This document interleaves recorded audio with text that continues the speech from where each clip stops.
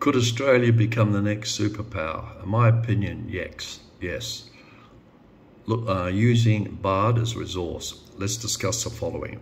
One, natural resources, huge natural resources, uranium, thorium, rare metals, iron ore, gold, diamonds, unlimited. Two, geography is well located in Southeast Asia, close to Indonesia and uh, China and Japan stability. It's got a very stable government under its constitution and the, its relationships with the UK. There are no coups here. Education, technology, very high level.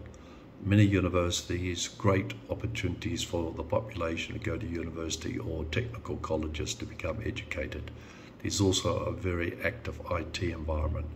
Next line, this leads to many employment opportunities. In fact, there's a greater demand for jobs now than for the last 30 or 40 years. Next line, there's some concerns about population. We're only 25 billion. We need more people to be able to populate some of the inner areas of Australia, not just the east coast. So we need to free this up and, in my opinion, double or triple the population distance. Some people concerned about the distance from Europe, the UK, and America.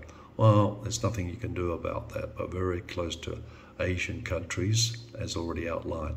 Defence. We need to boost our defence to get standing as a superpower, and this has already been done with acquiring nuclear submarines from the UK and the US. So, yes, Australia will be a superpower. It has all the credentials to be it. Thank you for listening.